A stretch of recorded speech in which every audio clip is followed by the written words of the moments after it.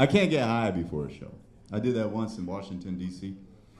and uh, I never bombed harder. Hour and a half of silence. it was bad. People weren't even recording because there's nothing to record. Like, you ever try to record someone bombing? there's no action whatsoever. It's like this motherfucker sucks. I did. And that that told me I was like, DC weed a little too strong. Cal- I don't know what Colorado weed's like yet. It's weed. It's mid. Com- It's bad. It's bad.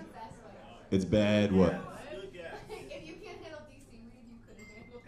Mmm.